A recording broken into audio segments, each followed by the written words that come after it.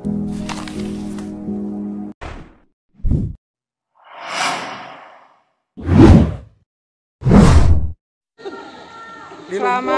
siang, kami dari Polres Melawi.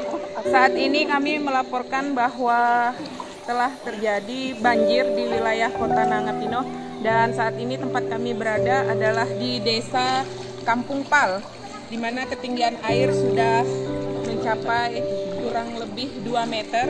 Jadi saat ini kami dari Polres Melawi sedang melaksanakan kegiatan pembagian sembako dan juga paket makanan kepada warga yang terjebak banjir. Dan kami menghimbau kepada masyarakat yang ada pada saat ini curah hujan cukup tinggi agar lebih waspada dan lebih berhati-hati. Salam Tribrata.